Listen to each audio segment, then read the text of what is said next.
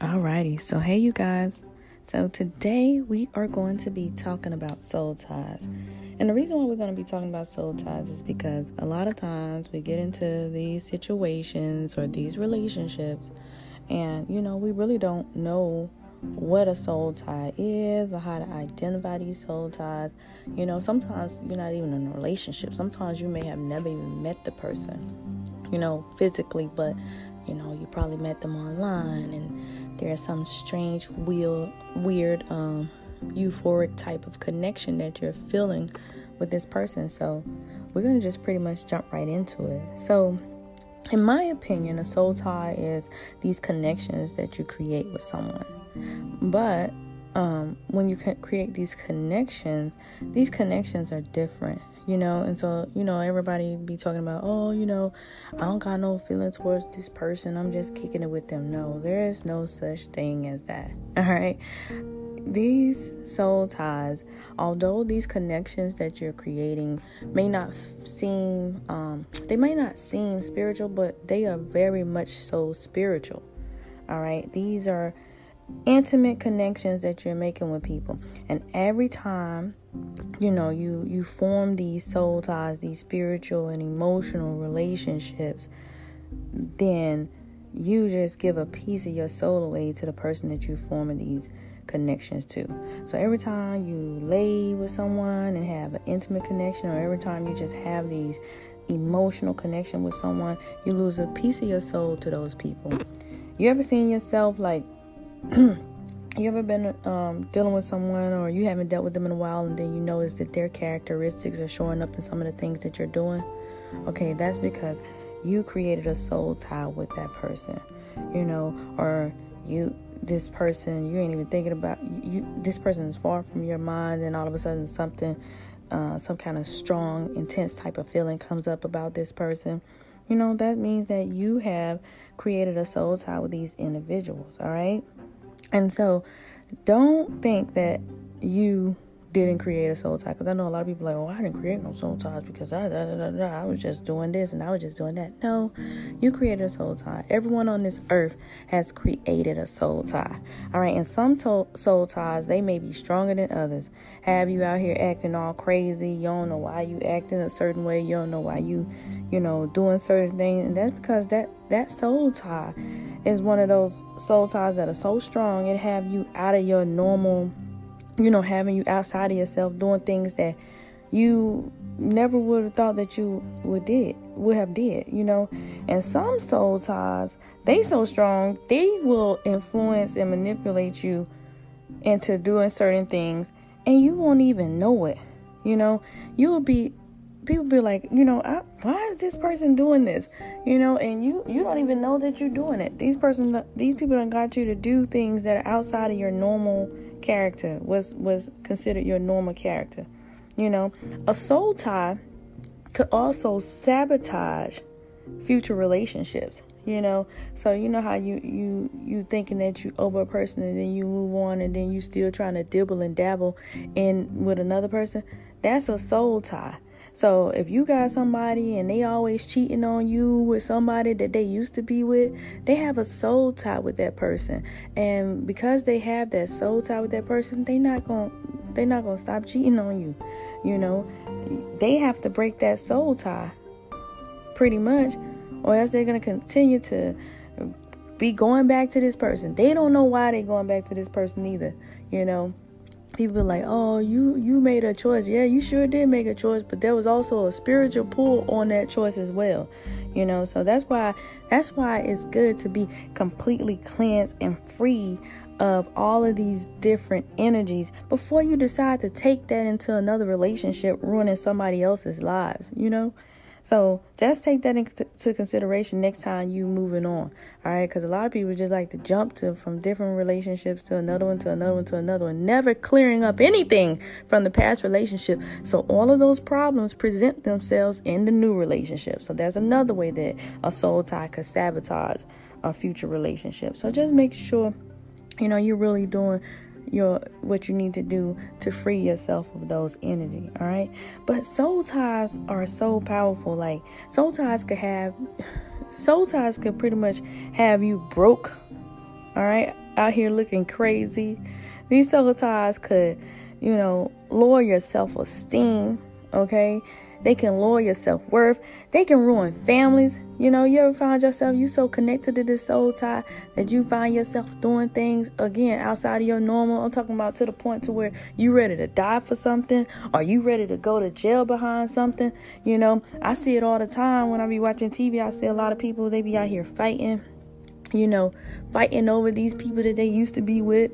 And that's because they got that soul tie, that strong soul tie. They feel like that, oh, this person, to them, it look like they, they feel like they fighting over being respected or disrespected. But really, that, that soul tie is so strong. It got you out here doing crazy stuff got you out here fighting and doing all kinds of things that you probably wouldn't have done had you not created this soul tie with this person. You know, but it can ruin families in other ways, all right? And some of these soul ties are extremely hard to break. Right? You can be in a toxic soul tie and you be like, oh man, you like some people be, can be in a toxic soul tie and not even know that they're in a toxic soul tie because they're not they're they're just so uh, hypnotized or so they ha- this soul tie has such a stronghold on them. They just like whatever I'm put up with it just so I, you know just so I can have somebody because this esteem is the self esteem is already low. So they just in in this thing just so they can say that they have somebody. You know, and some soul ties, some of these toxic soul ties, you want to be free from these soul ties, but guess what?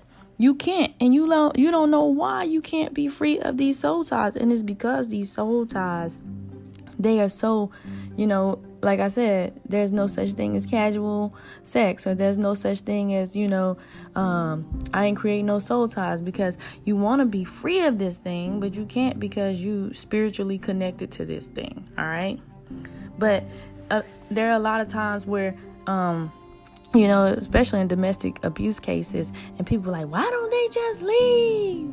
Why don't they just get out of there? You know, that would be the logical programming for somebody that has been abused and that has, you know, you know, has been hurt or, you know, somebody is trying to kill them to just leave and never go back. But some of those soul ties, you guys, are so strong they go back and they don't even know why they went back. They be sitting they sitting in that relationship like, man, why did I go back to this? You know, why did I put myself back in this situation? Why am I putting myself back in this cycle? You know what I mean? But that's because that soul tie is so strong that they just it just have this pull on them. And it's the pull is so strong right? The pull is so strong that it just pulled them right back into the same circumstances, the same situation, the same type of abuse. So they're just like, you know, they just there, they're just present, you know? But and especially if the soul that you tied to is stronger than your soul. Oh, if that soul is stronger than your soul, my goodness. You know, or sometimes we see people that meet people online or you know, like with the with the 90 day fiance or the the the um because I see the 90 Day Fiance thing going across the screen. I watched I watched it a couple times on television. Um, or you know, you see these people meet on these dating websites, and when they meet, they have never physically met on these dating websites, but that soul tie, that intimate connection that they created is so strong. Have them going crazy as if they met each other already, telling each other that they love them, you know, and they don't love each other. You know, they just that soul tie is just so strong that they feel like that they're in love or like these reality tv shows when these people are really in love with um, the person that they're with and probably not even a reality tv show you could just look at like things around people around you you know you you meet a, you see your friend and you like dang she just met this dude 35 days ago. How she already in love? Uh dang he just met her 45 days ago. How he already in love with her? How they already you know living together and doing all these things? It's because that soul tie to that person is so strong that you just find yourself doing things out of the ordinary. All right? So how do we identify it okay so those examples that i gave you earlier about, you know, your friend moving in with somebody, or it could have been you moving in with somebody all soon, too soon to, you know, really understand the character of a person. Um, or you see in those situations where person obsessing over a person, and then the next thing you know, 10 days later, they married, right? But obsessing over a person and your thoughts, right? You just can't stop thinking about this person. So that's one way that you can identify. You just can't stop thinking about this person. Everything that that happens, everything that you do is just your thoughts surround this person. All right. Um daydreaming about the person or waking up thinking about them regularly, you know? You like like your mind's just fixed on them. You just can't get your mind off of them for some strange reason. You don't know what it is. Um imagining hearing from that person like you want to hear their voice you want to you you want to you want to um, talk to them even when you know they're not around um, you find yourself searching for them even when you know you're searching for them even when they don't want to be found by you all right um, you just may have see yourself behaving in a way that you just normally wouldn't behave like if you was in a regular relationship. You know what i mean? So you might do things differently for this person than you would have ever done um, in a normal relationship sooner than you would have done it you know? So like you probably start having this person around your kids and cooking for them and you probably wouldn't have got to that stage you know, probably for a year or two or three down the line, but yet you already have this soul connection with this person. So you feel open to doing that, you know. Um, just acting strange, like behaving differently, you know. Uh, you might even think about contacting this person, even though this person did you wrong, right? You ever seen yourself in a situation where like you don't even really want to deal with that person, right? You don't want to deal with that person, but yet you texting this person, you calling this person, but you really don't have no interest in dealing with this person, right? That's because of that soul tie. All right. So you could have been done broke up with a person and then some kind of way found yourself back with this person and you like, I don't even know why I'm back with this person I broke up with this person for a reason, and here I am back in this relationship. You know, so you don't found yourself breaking up with this person, and now you're finding yourself back in this relationship with this person. But you would have never done that any other time, and that's because of that soul tie. So that's um how you identify. You just find yourself acting strange, acting abnormal, act, acting outside of what's considered normal to you. But how do you handle it when you're already in a soul tie? Y'all, that is a difficult one. And the reason why I say that is a difficult one because most of the time when you are in a soul tie, you don't even realize that you in a soul tie until it is too late.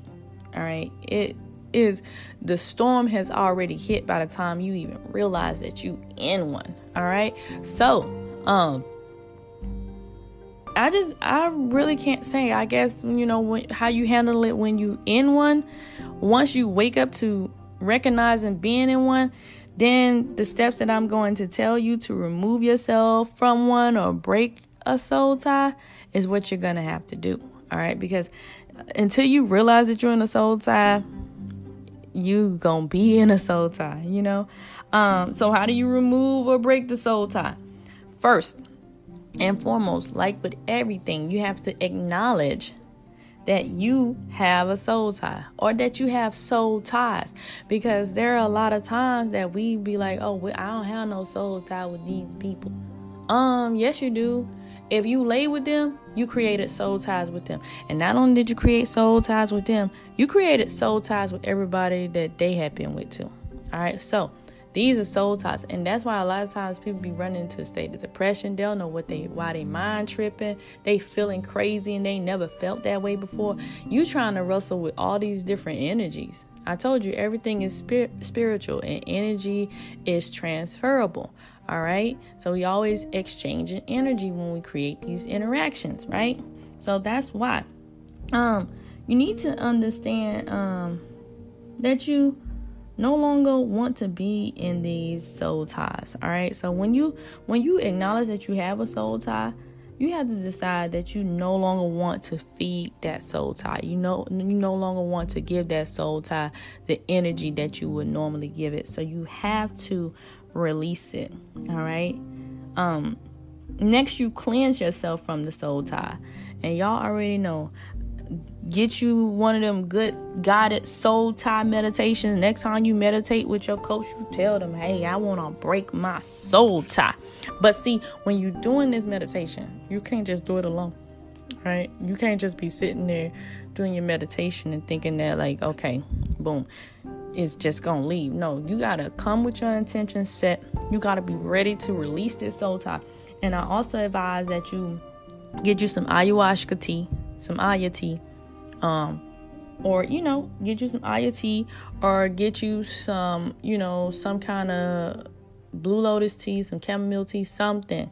All right, um, that's gonna help you. Some kind of uh, spiritual healing and spiritual emotional healing tea. Ayahuasca is the best spiritual and emotional healing tea out.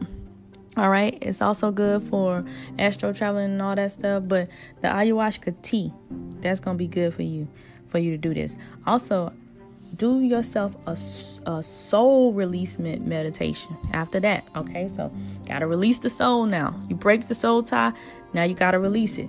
Or you could do them combined. You're gonna be sitting there for a long time, but it's it's all it's all on you. All right, so do yourself a soul releasement meditation um, while you're doing a yoni steam if you're a woman. So if you're if you're a woman, do your soul releasement meditation while you're doing a yoni steam or a V steam, what people call it. That's for women. And if you are a male and you want to release a soul tie, you go ahead and um, do the same type of meditation with an A steam or a P steam. Okay, and so these steams will purify you. All right, and they're gonna detox you. So if you need an A steam or a V steam, a Yoni steam or a P steam, hit blended roots with a Z.com. They will custom make your steams for you based on your needs. So that's blended roots, R O O T Z dot com, and they will custom make your um your steams for you. All right. So in order to break the soul tie, all right. You have to rid yourself of this soul tie. And when I say rid yourself of the soul tie, right? I'm talking about you got to get rid of everything relating to this soul tie, except the kids. I always got to mention don't get rid of the kids, okay? But you got to get rid of everything that reminds you of this soul tie. I'm talking about removing them from your social media, okay? You got to remove them from your all them pictures you got of them in your phone. Go ahead and get rid of it your call log, block them, you know, and unless the court done told you um, that you have to talk to them on certain times, but you have to make it to where you only talk to them on them certain times. So you have to have the discipline to say, like, look, I'm not about to talk to this person on this certain until this time, you know, or even just set it to where you block them up until the time that y'all got to communicate because y'all have to communicate for the kid on that time. So block, get them out of your call log. Any gifts that you got from them, trash them. What you holding on to the gifts for? Throw them away. Any pictures that you got of them, trash them. You know, and then when I talk about get rid of them, I'm talking about get rid of them without excuses. All right, because if they gonna see their daddy, then you don't need to be holding pictures of their daddy. That just that's just my personal opinion about that. You know, because oftentimes I hear that like, oh well, what if what if the dad? What if they want to see the? They can see the daddy. If ain't no custody agreement in the dad, then they can see the dad. You know, but like a picture ain't they ain't gonna make no difference. Or if you must keep the picture of the daddy, make a keepsake box for the child and put it away. Don't be you going yourself over there. Oh, I remember when.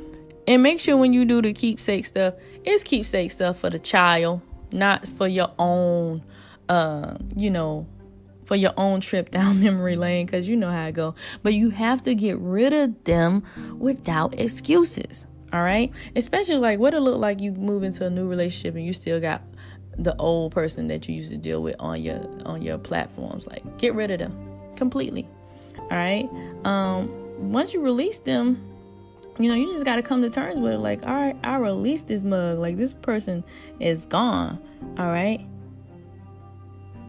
And so, I want to tell y'all that soul ties, because it's metaphysical, it's because it's spiritual, right? When you start doing your A steam, B steams, P steams, yoni steams, doing your releasing work, these mugs gonna show back up.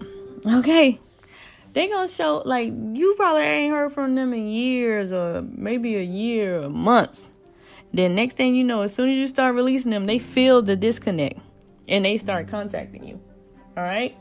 So when that happens, when that happens, some it may happen, some it may not, because some y'all might done change y'all numbers and stuff. But if it does happen, all I want you to do is remember these words do not feed that energy. It's kind of like when you give a parasite sugar, it continues to grow. Do not feed the energy. If they say, "Hey, how you doing? Long time no hear," don't respond. Do not respond. Because the moment you respond, then it's going to turn into something else and something else and something else. And then that shows that weakness. And that shows that now we still have these security issues that we got to deal with. You know, so just don't feed the energy, all right? Just continue to go through your release all right? And be happy that you released them. Okay, so that's it. I really hope that you guys enjoyed the segment today on soul ties. If you did, if you're on the Anchor app, go ahead and you can leave me some comments. Also, follow me on Spirit Soul Energy Dash Oracle on YouTube and Spirit Soul Oracle on Instagram. Peace.